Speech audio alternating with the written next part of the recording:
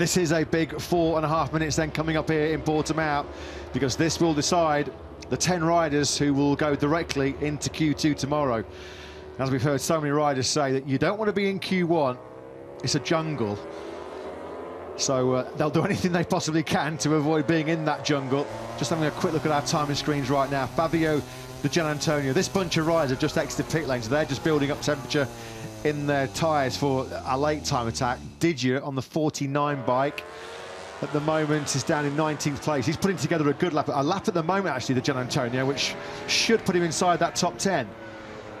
The Honda riders um, admitting at Qatar that they still need to follow. They're basically following allows the bike to turn better and for them to do a better lap time, which kind of, I mean, if as someone who's completely ignorant about aero, me, um, it kind of points towards for me that the aero doesn't work well enough if you need someone in front to punch a hole.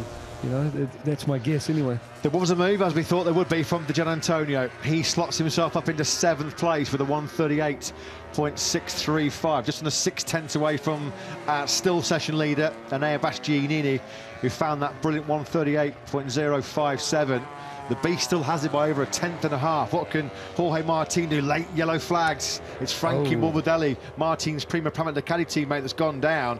And that looks like there's a fair amount of carbons left in the gravel trap there. Oh, look that's the, just before. That's right out by the curb, wasn't it? Look at the black, black mark, mark, that's on the, on the on the curb. Look there. Yeah, so he's locked it up on the curb. Yeah. Oh, scary one that. Yeah, those curves will be covered in dirt and dust from the overnight rain last night.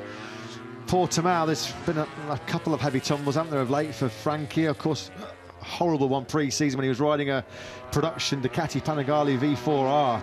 Knocked himself clean out and needed quite quick medical attention from the Marquez brothers. Put him out the whole of the winter testing programme, and that's going to cost some riders lap times here. Miller, brilliant job this by Miller because he was on the floor at the start of this session. Oh, oh somebody else has gone down the road. Mark. That's Marc Marquez. That's just the second crash first race weekend crash for Marc Marquez. Didn't go into the gravel at all in Qatar, thankfully, but he's down at turn five. Nice crash fest here. Morbidelli, Marquez, Marini. You don't want a surname beginning with M, do you, at the end of this practice session? Because Morbidelli, Marquez and Marini have all gone down the road. Here's a replay of Mark. just never settled at all, was oh. it? Whoa. Wow, that was a different one. The rear was kind of sliding, bouncing around and then completely let go. Look at that.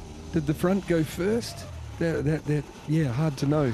Did that as, the, as maybe the, as yes, of course. The rear goes loose and just over, overloads the yeah, front. as the rear comes back into line, it pushes all your weight on the front. I would say that then the front's tucked and both both are gone. Yeah, both let go, front and rear. But basically, the bike was unstable on the way in there, wasn't it? He's trying. Yeah, Luca Marini in well, he's down at turn eight as well because he's right alongside his VR46 Academy colleague, Frankie Morbidelli. Are they going to get two on the scooter? They've got room for one more? No, not enough room. So Luke has uh, stolen the hot seat on the first scooter back. All this late yellow flag drama, though, means Enea Bastianini still sitting pretty at the top of the timesheets. And as it stands right now, you can see there on the graphic on the left-hand side of the screen, at risk is the world champ, Pecco Bagnaia, 138.765. Fabio Quartararo down in 12th place. Those two, Bagnaia and Quartararo, the winner of the four last four Grand Prix here in Portimao. And Fabio was pretty, uh, yeah, certain that his aim this weekend was to get into Q2. You know, if he could do that, that was that was the big. Uh, big aim. The time's gone for Bastianini on this current lap. Look at this from Bagnaia, though. How often does he do this? He just goes up towards the front at the end of the session, doesn't he? Quartararo will follow over the line, the Frenchman. That's brilliant. That is an Great awesome job. lot. What awesome. And Absolutely brilliant. And he made that, if I understood the, the lap well, in the fast section. Stunning. That shows the class of Quartararo, yeah. doesn't it? That shows the hunger, you know. Yeah, absolutely. 38.552 from the Frenchman then. Is that enough to get him into target A accomplished. Seventh place for Quartararo. Di Giannantonio has taken the checker flag. He's ninth. Aleix Espargaro, who was so strong, wasn't he, in Qatar throughout most of that weekend. Aleix checker flag, paying dilly for his crash at turn four. He's out. He's going to be in Q1 tomorrow. At the moment is as well until this lap comes in. Yeah, he needed that one. Seventh He's taken the checkered flag. So dropping down the order now goes Quartararo, Acosta, and Di Giannantonio. We've got a lot of yellow flags, personal best sectors lighting up the commentary box screens here. I tell you what, that's nerve-wracking for Bagnaia's team. You know, the checkered flag is out, and you're out of the top 10 until you get it across the line. There's a belting lap time coming here from Bezzecchi, who needs it. Here he is, perfect time on the 72 bike. 138.731 from Bez means he's 11th at the moment. Now, this could be actually nudging his teammate, Di Giannantonio, out of the top 10. Marc Marquez comes back to the Gresini Ducati garage. First race weekend crash as a Ducati rider for him. Image 138.210. Mark's cruising into Q2, no problemo. Bez, over the line he goes, that's more like it fifth place, or briefly fifth place, because Binder steals it right behind him. Alex Rins, superb. Rins finds a 138.560. What can Miguel Oliveira find in front of his home crowd? Nothing to get himself inside that top 10. That would be disappointing for Oliveira, 17th. Credit though to the two factory Yamaha Simon, yeah. all kinds of problems. Awesome job. Ninth for Quartararo, 10th for Alex Rins.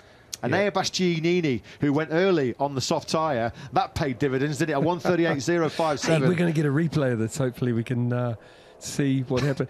He, I think Mark is going to tell us that. First of all, we've got to watch this. Yeah, yeah, the back step. Yeah, yep, yeah, yep. Back steps out a couple of times as it comes back into line, pushes the front, and then both let go. And we can watch it from another angle. Whoa, whoa, it was unstable. I'm sure Mark's going to say to us tonight that look, I was I'm finding the limits of this uh, yep. new machine. And that's exactly what he's doing. He's got a, still got a big smile on his face. Yeah, there we go. It's his first crash of the season for Marc Marquez, as we told you, just his second overall uh, with the Ducati.